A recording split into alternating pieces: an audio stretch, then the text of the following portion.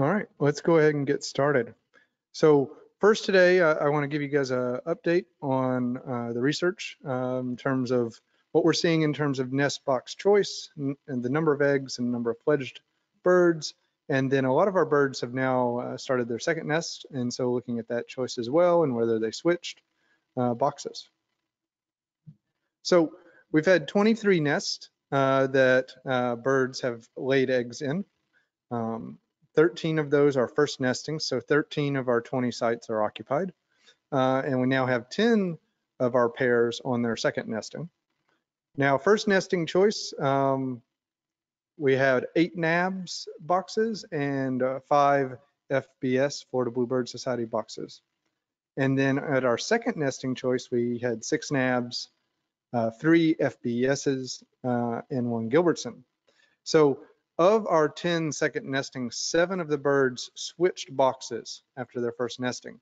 Now, two of these were nest failures, but in all the others, they were, as far as we can tell, uh, all the or all the eggs hatched and all the birds fledged for seven, uh, for eight uh, of our second nestings. The first nesting uh, had, was successful, and but there were two failures, um, and yeah, seven of the 10 birds switched. And I think that might be related to just, it's a nice, good box nearby, very similar, but it's clean of uh, nesting material and parasites. And so easy to switch.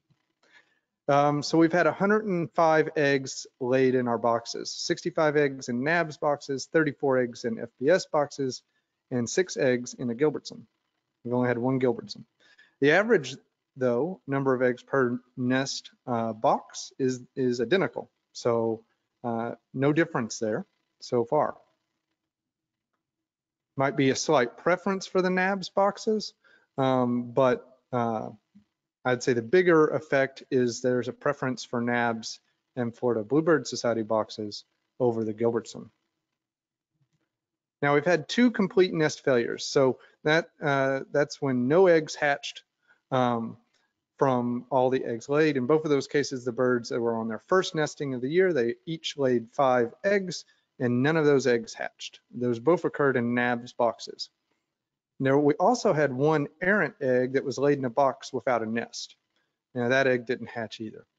Now, we've uh, we've pulled those eggs out and we've uh, uh, candled them with our phone uh, to sort of see what was inside. And um, the egg, errant egg was uh, showed no signs of de development at all.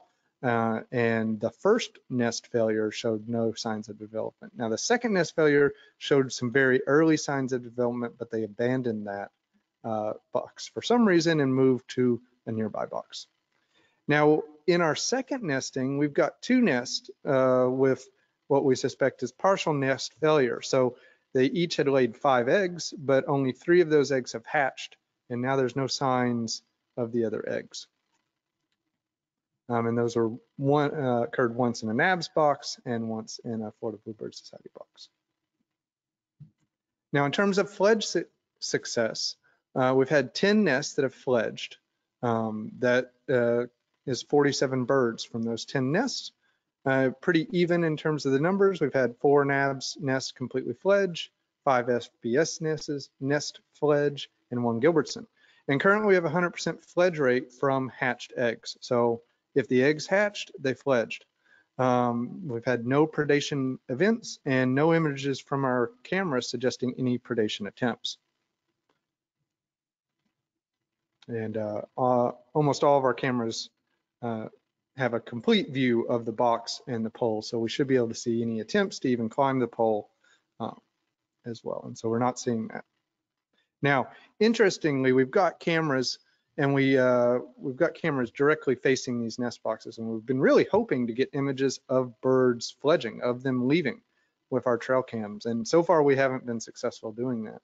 And even, even when we beefed up the sensitivity uh, and increased um, the length of the, the cameras, uh, of the images and videos they're taking, uh, and decrease the time between to try to really capture uh, video uh, of the birds leaving. And we've never captured it.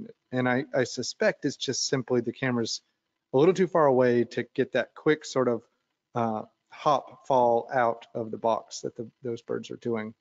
Because um, we get plenty of nice videos uh, of the mothers of the male and female bluebirds coming in and feeding the young. And so with that, we're able to know pretty precisely when uh, the birds fledge because the, the male and females quit returning to the nest with, with uh, food for them. Now, I've got a little video here. This is our Gilbertson, or the couple at our Gilbertson. So I'll show this as a swooping behavior. They were really uh, protective of their Gilbertson's uh, nest, these birds. So these birds, uh, um, they had originally had nested in a NABS box, and that was the one that was completely sterile, didn't develop at all, even though they incubated it for quite a long time. And, and then they finally abandoned uh, that nest and moved to the nearby Gilbertson. And then they were extremely protective of that nest. Uh, and you can see that they were doing that swooping behavior. Both the male and females from these branches would swoop down at us pretty much nonstop anytime we visited this nest box. Just like that, pretty neat. Now here is uh, the birds in the Gilbertsons. They laid uh, six eggs in here, so it was quite crowded. Um, it was a few days before they left uh, the box. And we were actually able to stand pretty far back and zoom in with our just our phone camera uh, to get this image. So we weren't disturbing the birds uh, overly much. And then here's the inside after they left. Um, so kind of kind of amazing that they fit six full-sized uh, fledglings in there, but they did, and they all left successfully. Now, an important topic that we're basically at at this point because we have a lot of our nests that have uh, finished uh, their first nest and birds have fledged is whether or not you clean uh, the nest box uh, and how you do that. And so absolutely you need to clean the nest box uh, at the end of the breeding season, but there is a little bit of debate over cleaning nest boxes between nestings because bluebirds will not remove their old nesting material, so they're simply going to continue to build over top of it. Now, what we've seen in our second nestings is most of the birds uh, slightly spruce up uh, the nest and maybe uh, build the cup up a little bit more, but uh, not a whole lot. Now, we do have a couple that have built up a lot more, uh, so it's got substantially higher within the box, but most uh, just sort of do some basic sprucing. Um, now, other birds will clean out nesting material like wrens. And the the issue with old nesting material is it can lead to more uh, parasite, ectoparasites like these mites um, and blowfly larvae as well um, that just sort of accumulates over time and might lead to decreased nest survival in later nestings. So there have, have been a few studies uh, on what to do between nestings um, to the best thing for the birds. Now note, the bluebirds don't clean them out on their own. Uh, they Bluebirds will do some behaviors to sort of try to remove some mites and blowfly larvae where they're sort of uh, ruffling through the, uh, the nesting material and trying to remove those, but they're not wholesale restarting a nest. Um, so a study in Illinois removed old nesting material from uh, some nest boxes uh, after fledging uh, and left others. Oh, okay. So this is uh, house wrens, but yeah. And they uh, they found no major difference. So with these house wrens between no major difference between cleaned nest boxes and nest boxes that house wrens were cleaning um, in terms of mites. So that's uh, interesting that um, the wrens at least were doing as good of a job as uh, the humans in terms of cleaning out uh, for ectoparasites. And here is a little video. I, I got some mites on my finger just to just to show you guys what it looked like. These are little nest mites. And when I check this nest, the birds are gone, but the mites uh, are still there. So they're all over my fingers. And, uh, you know, after I was done shooting that video, I sort of I got all the mites off. I, I, don't think they're necessarily harmful to us, but I got them all off. I washed them off and uh, shook them off. So. Now, um, because bluebirds don't clean out the old nesting material, uh, it will become overfilled, especially uh, at the end of the season. So at the end of the season, you definitely want to clean that box out. Um, now, like I said, the question is, do you do it between nestings? So this study, and this is a bluebird study uh, in North Carolina, and after their first successful clutch, they cleaned out half the boxes and left the, the others as is. Now, 71% of the bluebirds chose to move to a clean nest box in that study. So that seems to suggest that they do want a cleaner nest box, even though they don't do it themselves. And that's sort of what we're seeing here too, right? We've got um, seven of our 10 second nestings, so right at 70%, have moved to the nearby clean nest box, either the NABs or the FBS's boxes, or in one case, the Gilbertson. Now, uh, an opposite conclusion was reached in, uh, in a bluebird study in Kentucky. Um, in that study, the bluebirds preferred the nest boxes that hadn't been cleaned, that had the old nest in them. Um, there's uh, one caveat there is that there are parasitic wasps in Kentucky that will kill blowfly pupa, pupae over the winter. Uh, and so removing uh, the nesting material could actually compromise uh, that natural process in that case. So I mean, ultimately, I think it's it's your choice if you want to clean out between nestings, um, but you do want to make sure that you're not disturbing an active nest or disturbing the start of the second nesting. Um, so you want to be careful. Um, but even if you don't clean out between nestings, definitely clean out at the end of the season. And later, toward the end of our project, we'll have some videos about how to clean. But uh, we're not doing any cleaning just yet. So uh, if you do clean between clutches, make sure all your chicks have fledged uh, or it's a nest failure. In our case, we candled those eggs to make sure. Um, or uh, the nest has been inactive for over a month. So when you do go to clean your boxes, and we'll have a video on this later uh, in, in, the summer, fall, wear gloves and stand uh, with the wind to your back so that avoids that waste material blowing into your face. The nest, uh, you can take all that nesting material out, put it in a bag, and then put it in the trash. You want to brush out the interior of the box, and then when you're done, make sure you're washing your hands with soap and water. Um, and if there's any indication that have been mice in that nest box, you want to spray with a bleach solution um, because you want to make sure you're killing uh, any hantavirus that is inside that box because hantavirus can be dangerous to humans. Uh, so if you see signs of mice in your box at the end of the season, um, use that bleach solution, wait a little bit, wear a mask, put that stuff in the trash. Uh, and leave it open for a few days as well after you've applied that bleach solution. So uh, that's uh, a little bit about nest cleaning. Now I wanted to show, we had we always look in our nest after they've fledged. And most nests don't have anything but a couple of uh, poop sacs in them. And we had this one nest where it had a lot of extra plant material, um, in, or a lot of extra uh, leftover, I guess, food, animal uh, material that the adults had brought in, but the, the chicks didn't eat. And so I thought it was interesting to just see a little window into the diet of bluebirds, at least here uh, at the Range Cattle REC. And so we've got uh, a grasshopper and uh, a cricket here. And then uh, this, see if I can do the laser pointer. So pretty sure this is part of a mole cricket. So that was interesting to see that in the box. And then we have a, a beetle as well. So it's interesting to see what they're eating.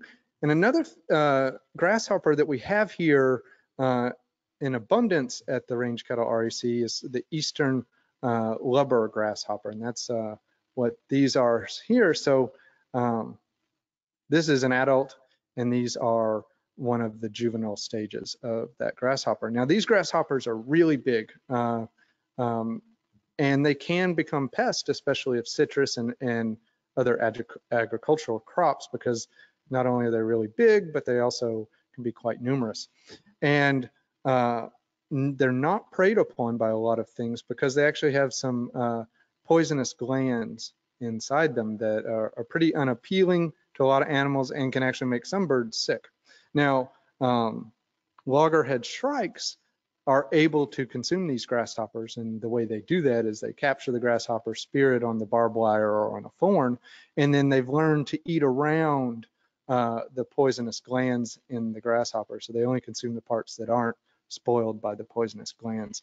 So I don't know if bluebirds are capable of eating these or not. That's something I want to look into um, and whether they do or not. Because it'd be uh, interesting if if bluebirds could serve as a, uh, a agricultural pest deterrent, um, especially uh, with citrus and some other issues.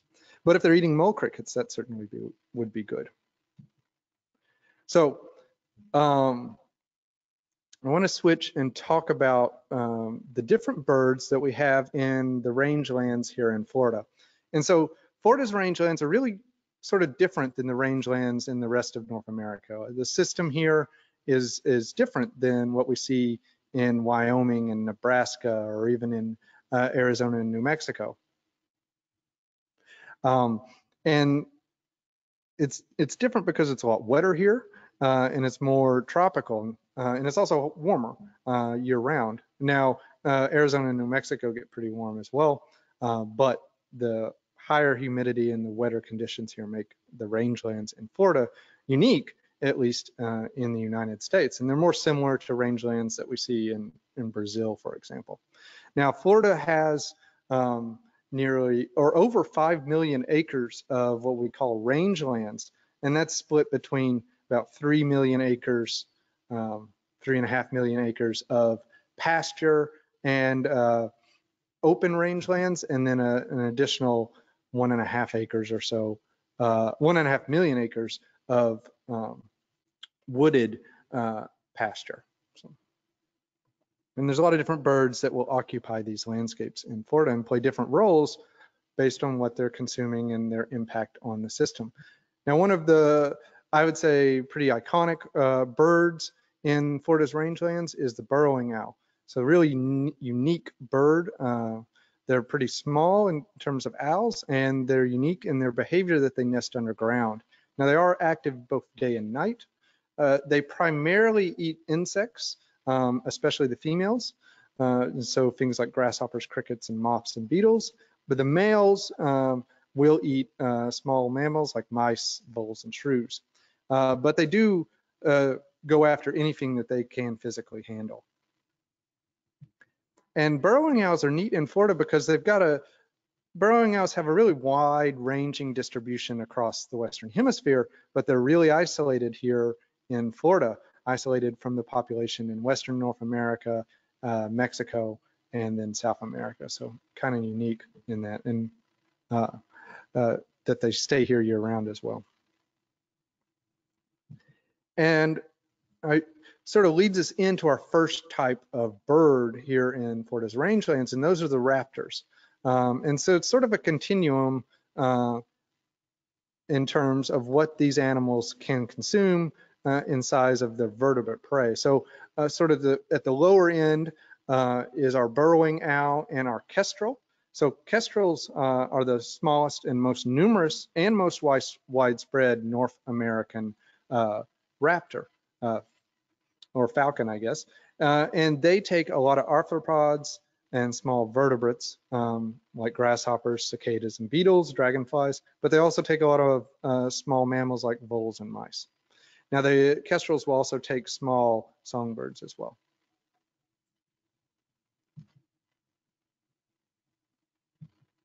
Now we also have uh, red-shouldered hawks. Now red-shouldered hawks, we see uh, them a fair bit uh, here at the Range Cattle REC. We well, we've seen all of these birds so far at the Range Cattle REC. I just saw my first burrowing owl uh, this week, so I was quite excited about that. Actually, there's a they uh, saw them near one of well, probably about 100 meters away from one of our uh, bluebird nest boxes, so that was kind of neat. Um, but back to red-shouldered hawks, they're pretty common here at the REC. We've got one that nests uh, in the trees around the center buildings. Now, they'll take small mammals and reptiles, amphibians, and they can also take birds. Um, they will occasionally take invertebrates, but we're now moving a bit more towards animals that are specializing in larger prey. And then we have northern harriers here. Uh, northern harriers forage on the wing, right? So they're capturing a wide range of prey, including small and medium-sized mammals and birds, and they're doing that while they're coursing low uh, over the ground. And then next up in size is our red-tailed hawks, and they'll take a wide variety of vertebrates, uh, varying in size from rodents to rabbits, and they also will take snakes and birds like bobwhite, or up to bobwhite. And then I wanted to talk about crested caracara. So crested caracara is one of those other really unique uh, birds in Florida in that the population of crested caracara in the state uh, is uh, disconnected from the wider distribution of crested caracara in the Western Hemisphere. Um, and crested caracaras are sort of unique. They're, uh, they blend hunting, uh, active hunting, and scavenging. So the, they're quite common uh, around carcasses, and they will, uh, or they can at least outcompete vultures as long as there's not too many vultures uh, and chase the vultures away from a carcass to consume. But they also uh, will do a lot of hunting as well. So they're eating everything from insects uh, uh up to small and occasionally even larger vertebrates. And this includes fish, reptiles, and amphibians, birds, and mammals. Um, and they'll also, if they find eggs, will consume those as well. Now, crested caracara here in Florida and uh, also in, in Texas have a really strong association with rangelands that have cattle on them. They really like the fence posts. They like that sort of improved pasture landscape. And then uh, we've got bald eagles on our rangelands here as well. Now, bald eagles have, typically have a really strong association with water. Uh, they hunt fish and waterfowl, uh, but they are also attracted to rangelands. And, and we occasionally see them at carcasses as well. So if we've got a, for example, when we occasionally see pig carcass in a field somewhere, we're going to see uh, both the vultures, black and turkey, but also we often see crested caracara and bald eagles hanging out around it as well.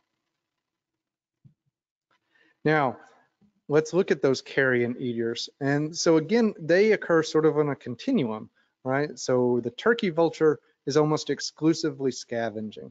Um, they'll uh, turkey vultures tend to forage solitary, like alone, uh, but once one turkey vulture is eating from a carcass, that attracts other vultures to that carcass. And so often you see a large group um, of um, turkey vultures on a carcass. I don't know what's going on here at the bottom of this. Um, you'll see a lot of uh, vultures on a carcass, and that might have been initially started by a single turkey vulture. Um, turkey vultures are often the first to find carcasses because they have both an excellent sense of smell and sight. Um, and other vultures, like the black vultures, will piggyback on uh, turkey vultures. So piggyback onto the findings uh, of carcasses uh, that turkey vultures find. So black vultures will also uh, mostly scavenge, but they do occasionally attack uh, domestic livestock and some animals, especially if they're weak. Um, so I've seen videos of a group of black vultures harassing newborn calves, for example. Now, unlike turkey vultures, black vultures don't really have a great sense of smell. Uh, and so they do uh, rely uh, more on sight and also uh, on looking for cues of turkey vultures and following them as well. And black vultures can displace turkey vultures from a carcass. And then, as I said earlier, both the crested caracara and the bald eagle will also scavenge from uh, carcasses as well. Now, the loggerhead shrike is a sort of neat bird uh, in the rangeland system. So it's an avian predator, but it doesn't really have the anatomy of those raptors, right? It doesn't have, doesn't have really strong beaks and claws to grasp prey items. So uh, to get around this, it's sort of adapted uh, to use its landscape to help it. And so what it does when it captures some of its prey items, which include anything from arthropods like grasshoppers and dung beetles and, and things like that, all the way to amphibians and uh, small and medium-sized reptiles and even small mammals and birds. Uh, they will impale those animals on either nearby thorns or in a lot of cases here, the barbed wire. And so by sticking the animal into the barbed wire, they don't have to use their claws and beaks to hold the animal for very long. And then they can use their beak uh, to uh, consume the animal uh, while it's restrained on the um, barbed wire. And the other neat thing about them, as I said earlier, with those eastern lubber grasshoppers, is they can hunt uh, noxious prey items. So prey items that taste bad because of poison and or scent glands, or that, like I said, have poison glands. They will eat around them while those animals are sort of attached to barbed wire. Eat around the glands that would have the poison or the foul uh, tasting uh, material. And those include monarch butterflies and lubber grasshoppers and some frogs. And then we have swallows, right? So swallows eat exclusively flying insects uh, at all times of year. Um, now swallows, and we've got the purple martin here, uh, the tree swallow and the barn swallow. Those are probably uh, uh our more common ones on the rangelands here in Florida they will readily nest in artificial cavities. And in fact, especially the purple martins, they've come to almost exclusively nest in artificial cavities, at least in eastern North America. Now, because of this, all of these birds uh, now occur in these artificial um, nesting cavities in large colony-like groups. Um, but we don't actually think that that occurred naturally because natural uh, cavities didn't occur uh, in the same sort of density necessarily that a lot of these birds are able to access artificial cavities. Um, and so purple martins, despite nesting in large colony-like groups, they often hunt uh, for insects solitarily or in very small groups. However, tree swallows and barn swallows will swarm uh, in large groups hunting insect swarms. Um, now, barn swallows are a bit more associated with farming equipment and will uh, hunt flying insects that have been flushed by farm equipment. And, you know, a lot of people might have heard that purple martins, for example, uh, can uh, help control mosquito populations, but there's not a lot of evidence that they're actually eating mosquito mosquitoes because mosquitoes are flowing, flying for the most part relatively low to the ground, and purple martins and some of these other swallows mostly hunt uh, a little higher in the air and for bigger uh, insect prey. And then we also have flycatchers, right? So they're also mainly consuming insects. Um, and we've got three of them here. We've got the great crested flycatcher, the eastern phoebe, and eastern kingbird. Now, uh, the great crested great crested flycatcher is one of our is the only cavity nesting flycatcher here in eastern North America. Um, now these birds will do some uh, catching, uh, uh, fly catching in the air, but they also uh, do a lot of probing uh, as well and eating uh, insects off of leaves and, and, such. But the phoebe is probably our, our most, of these birds at least, is the one that's eating the most animals on the wing and doing a lot of, eating a lot of bees and wasps. And then we have warblers uh, that are also mainly eating insects and spiders. Uh, they do consume some plant material, uh, but for the most part, it's mostly insects, spiders, and other arthropods. And they have that same sort of bill shape that's really allowing them to do that. It's good for probing and gleaning insects off of vegetation, um, but they do capture them in other methods as well. And so we've a couple of our more common ones on the rangelands here is we've got the orange crowned, um, uh, the yellow, well, that's the prairie, and then the yellow throat uh, and a palm as well. And so we've seen a couple other types of warblers, especially in the winter here at the REC as well. And then a really common bird here on the rangelands uh, at the REC is the eastern meadowlark. Now, meadowlarks uh, are much bigger than the warblers, and they feed almost entirely on the ground, eating mostly insects, lots of grasshoppers and crickets. Now, meadowlarks as a species are declining uh, in a lot, a lot of its range. Um, and that probably includes parts of Florida, but they're really abundant, uh, at least locally, here at the Range Cattle REC. Now, as a group, these sort of rangeland birds, grassland birds, are declining across North America. And, and part of that is that a lot of the native grassland has been converted uh, to agriculture and livestock. And um, what we have remaining is either uh, uh, high intensity agriculture, especially in the Midwest. Uh, and then we, uh, in other parts of our historic rangeland, we have um, uh, cattle ranches and ranged cattle. And cattle ranches can be conducive at least to some grassland birds, especially if grazing is done in sort of a rotational way so that there's a mosaic of different uh, vegetation heights and types. And also, uh, at least in systems that uh, have evolved with fire, that fire maintain is maintained through prescribed burning regimes as well. And so here in Florida, uh, um, the most successful uh, rangelands in terms of wildlife are places where they have rotational grazing and they have prescribed fire regimes that are allowing for that mosaic of habitats to occur on the landscape and allowing for a wide, uh, wide diversity of these species to continue, continue to persist. So we also have a couple important uh, um, what we call shorebirds, uh, the egrets and the cranes in rangelands. And perhaps one of the most ubiquitous ones here in Florida is the cattle egret. So cattle egrets eat uh, insects disturbed by grazing animals, and they have a highly adaptable diet. So they're non-native. They arrived in, in, Florida in the 1950s, but they're originally native to Africa, where they uh, developed this sort of relationship with the large grazing animals in Africa, for, for example, African buffalo. Now, in the 1930s, they were able to successfully colonize South America from Africa across the Atlantic Ocean, and from there uh, quickly spread north and across the continent. Now, what we don't see in this map is that uh, cattle egrets also expanded out of Africa across Europe and Asia and as well. So they're a really successful species that has become a global species.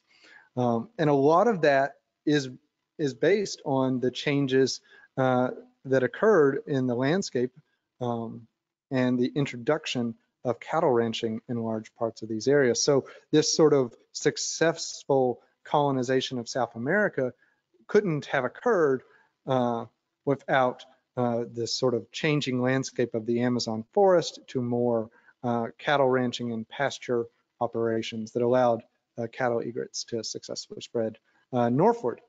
And so they sort of spread northward across northern South America. They entered Mexico, uh, they spread to the Caribbean islands, jumped to Mexico, jump to Florida, and the race is on as they head northward across North America. Another bird we see a lot in the rangelands is killdeer. And so killdeer are mainly eating terrestrial invertebrates, uh, things like earthworms and grasshoppers, beetles and snails. They will occasionally take small vertebrates uh, and will occasionally eat seeds as well, but mostly uh, uh, eating the terrestrial inverts. Now, killdeer are one of those other species that have done really well with humans. So they're likely more abundant now than they were at any other time in the past. And that's because the sort of habitat that we create, uh, not only here in the rangelands, but also in suburbia, uh, is really good for killdeer. And you've probably seen these. Uh, they have that really unique behavior where they're trying really badly to convince you to go away from their nest by acting like they're injured. So they'll they'll limp and make a lot of noise and act like they've got a, a, a damaged wing. And they're trying to convince you uh, uh, and lead you away from their nest with that sort of display. Now I want to shift to birds that are more omnivoric. Uh, so they're eating uh, almost equal amounts of plant and uh, uh, animal material. And the first one, uh, really abundant uh, locally here in Florida, is the sandhill crane. these birds are large, opportunistic, omnivoric foragers. They consume a wide variety of plant material, small vertebrates and invertebrates. We see them a lot on the rangelands.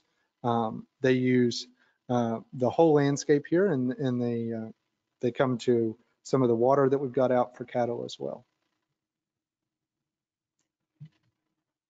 And then uh, we've got a whole series of omnivorous blackbirds. Um, Now, for these birds, their non-breeding season diet's mostly plant material, but then in the breeding season, their diet becomes mostly animal material. Now, but overall, these species are highly omnivorous. They're diet generalists. They eat about everything. And most of these species have done really well uh, with humans, and they're very abundant and common across their range. And so things like uh, the red-winged blackbird, and then uh, the common grackle, and also the, the boat-tailed grackle as well. Uh, now, common grackles can be a uh, significant agricultural pest, especially for corn. They eat a lot of corn uh, in places where that's growing and are quite the pest for that. And then we have the brown-headed cowbird. Now these are famous for their brood parasitism. So brown-headed cowbirds only lay their eggs. They don't build their own nest. They don't maintain a nest. They lay their eggs in other birds' nests. So you'll see those photos of a warbler feeding a brown-headed cowbird's chick, which is a lot bigger than warbler chicks.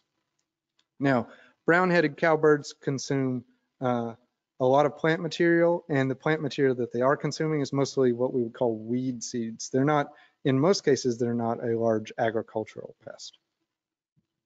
And then we have the crows here in Florida. We've got fish, crow, and American crow, and they're hard to tell apart where they uh, both occur. Um, the best way to tell them apart is the sound of their voice. So the fish crow is a bit uh, more nasally. Now, both of these birds are highly omnivoric uh, and they are generalists. They'll eat whatever is abundant and available. And uh, crows can be important predators for certain pest invertebrates and larvae. So they're not necessarily bad uh, for agricultural systems. Another um, common bird that we see here on the rangelands, probably uh, definitely our most common woodpecker that I see around here is the red-bellied woodpecker. So it's a habitat generalist uh, extraordinaire, right? It can live in about any type of habitat because it consumes a wide range of uh, food items, uh, including fruits, uh, mast seeds, and then arboreal arthropods and invertebrates as well. And there's even reports of it taking small or young vertebrate prey opportunistically. And it is a primary cavity nester. So in this system, uh, without artificial nest boxes, bluebirds would be relying on woodpeckers like the red-bellied woodpecker to find, uh, to create nesting areas for them. Uh, another really common omnivore here is the northern mockingbird. Northern mockingbirds mainly eat insects and fruit. They have a really uh, unique uh, voice uh, and that can be highly uh, variable among individuals. They, they mimic a lot of different sounds in their landscape. Now, we'll talk about some birds that are mostly eating seeds and plant material. So we've got uh, some colorful seed eaters, uh, so cardinals, uh, blue grosbeaks, and goldfinches. Now these birds consume a lot of grass seeds among other plant material, and you can see uh, as we've transitioned through these songbirds, the songbirds at least at first that are mostly eating insects like warblers, to the songbirds that are eating mostly plant material and seeds. And you can see that the, the beak of a cardinal and a grosbeak and a finch, it's a lot stronger and more powerful. And that's because uh, they need that, that strength and that robust beak to, to crack into seeds and consume seeds. And so these birds will also be really common at feeders as well. Now, cardinals consume about 30% animal material. Um, and the blue grosbeaks can use that powerful beak to consume some insects and snails. Um, and then we've got the upland game birds. And so this is the wild turkey. Uh, the subspecies of wild turkey that's here in Florida is the Osceola turkey. Uh, and it's famous for uh, the hunting opportunities it can provide. It's a little bit smaller than a lot of the other wild turkey uh, subspecies in North America. Now, wild turkeys are primarily eating dry, fleshy fruits, tubers, and seeds, and uh, uh, vegetation material of a lot of perennial plants. And turkeys, along with our uh, the next upland game bird that we've got here, uh, really like that sort of mosaic of landscapes, right? So they need they need areas with plant material, with vegetation, they need that rangeland sort of landscape, but they also need uh, areas with cover so they can protect their poults and get some of those uh, seeds and uh, fleshy fruits from trees as well, and mast. So they need that mosaic of habitat and do quite well uh, in places that are maintaining their mosaic through fire and rotational grazing. And then we also have the northern bobwhite, another really famous, really popular upland game bird. Um, they primarily eat seeds of agricultural crops and weeds, uh, and, but they're eating a lot of vegetation in general uh, from the understory. Uh, again, they're an edge uh, species, uh, so they need that sort of mosaic of landscape types.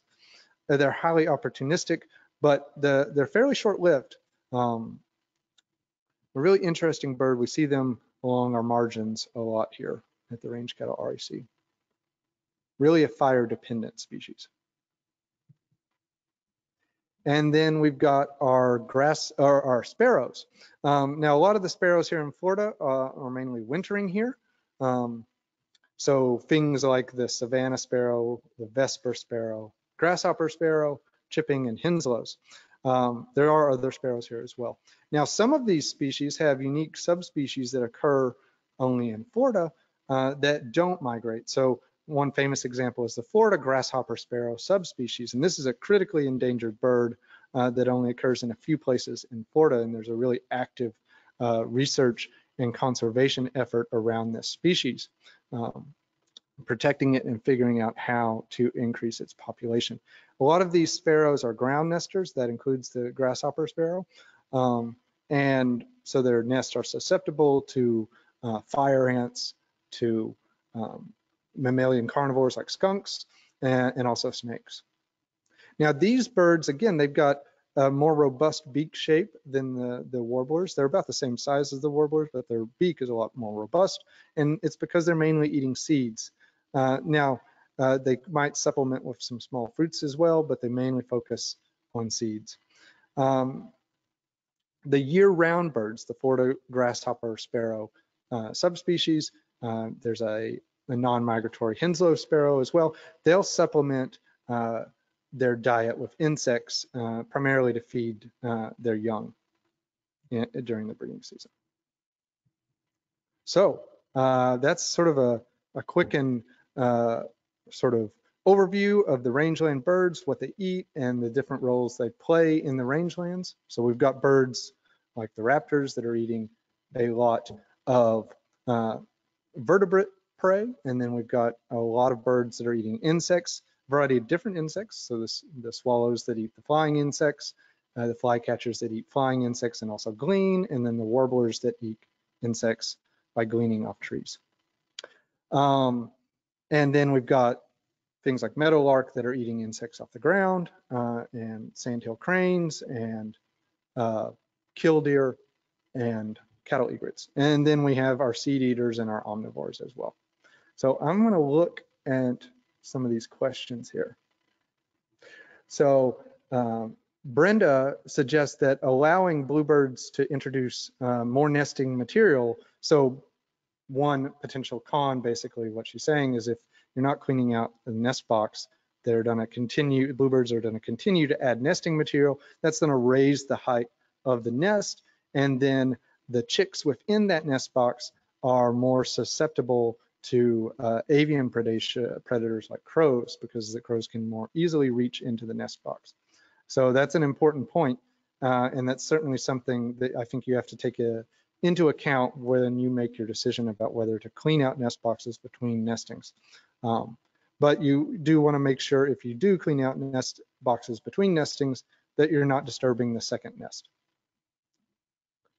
And uh, see, Brenda also says, regard to the leftover food stuff found in the nesting material, uh, Brenda has found a lot, a lot of large amount of cherry pits. So that's sort of an interesting uh, food item that I wouldn't have expected um, bluebirds uh, to be feeding uh, their young. So that's interesting. I, I want to look into that.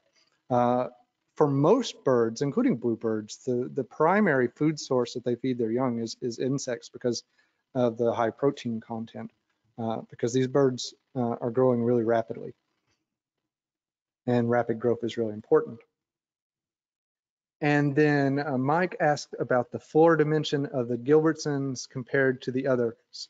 and it, it, it is a smaller floor.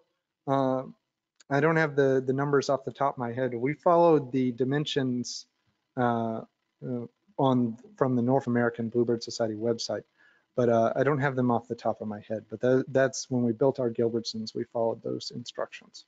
But it is a little smaller, so it, it's a tighter space for sure. But you know, all six of those birds, uh, all six of those eggs, eggs hatched, all six of those chicks fledged. Uh, so at least with our N of one, it, it turned out okay. And Gilbertsons are used a lot uh, by Bluebird researchers. And we're kind of hoping our next session, um, we're going to have a Bluebird researcher uh, come and uh, give uh, a talk uh, in our session about some of their Bluebird research. So we're reaching out to a few folks and hopefully we can get someone to come on. Um, so we're switching up uh, the sort of uh, schedule of, of these talks. You know, initially we were trying to do monthly, uh, but we're going to take a little bit of a break and return in July um, for our next talk, which will again give an, uh, a research update. Uh, we'll also, uh, by that time, be able to show some preliminary temp uh, logger data from our first nest and also our uh, temp loggers that we've got out in nest boxes, unoccupied nest boxes at the same site. So we'll be able to show a little bit of that data in July, uh, give our research update, and then hopefully have a guest presenter talk about a little bit of their research uh, in uh, bluebird ecology here in Florida. So um, if there's any other questions, I can answer them. Otherwise, thank you all for, for, for tuning in and continuing to tune in uh, as we go through this research project together. So, oh, I do have a couple of things.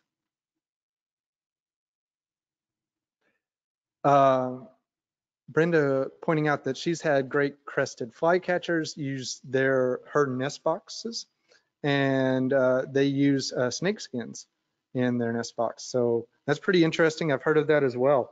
Um, that's a. I don't know if that is um, some sort of deterrent or just because it's soft and, uh, and uh, available in the landscape, something that attracts great cresteds and want, uh, they want to put in there. I'd look into that a bit more. Um, so Joanne asked when in July. And so that's a little, uh, it's going to be after July 4th. It's not going to be, it was going to be a Saturday and it's going to be uh, mid-July, but uh, our guest presenter, I want uh, them to confirm that date before I confirm the, the date with you all. But we'll send it out uh, very soon, as soon as we get a confirmation on that from our guest presenter. And uh, yeah, it, I'm really looking forward to the guest presenter. I think uh, they'll present some interesting uh, information. Perhaps, I'm not sure what they'll talk about, but a lot of their research focuses on bluebirds uh, in urban environments or in suburban environments and the effect of noise on nest success and things like that. So I think it'll be a really interesting talk. So I'm really looking forward to it. Okay. Thank you all for coming and uh, look for an email about uh, the date in July and probably in the meantime between then and now we'll be posting uh, some short videos on uh, our virtual classroom website with uh, some short research updates to keep you updated. I imagine by July, we could be looking at some third nestings for some of our birds. So exciting. All right, thank you.